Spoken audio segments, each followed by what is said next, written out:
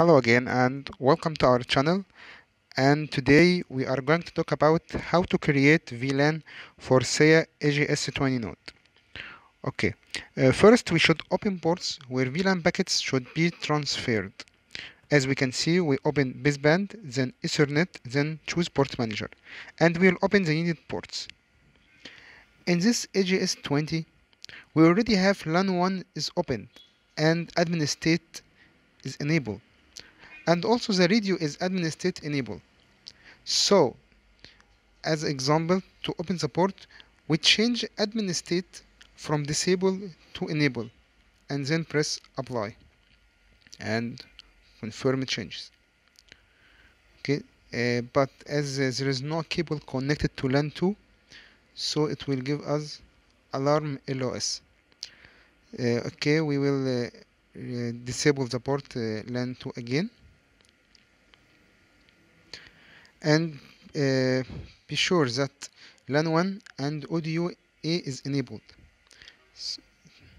Also, we, uh, we need to check MTU, maximum transmission unit. Uh, we should adjust it to prevent any flap at traffic.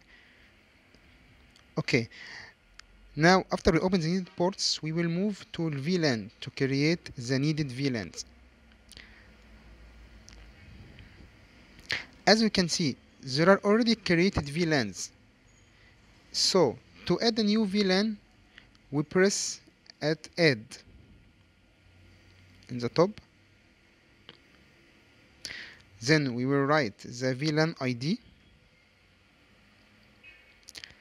and we will choose member port. We will choose where this VLAN should be transferred. So we'll choose LAN 1 and radio A. This is a, an example VLAN. Also, we write the VLAN name. It's optional. Uh, you can write any name you need. Then we press apply.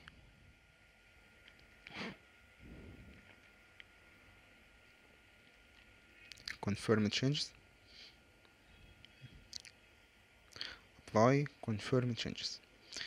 Okay, now our VLAN added now, as you can see and member port radio A and LAN 1.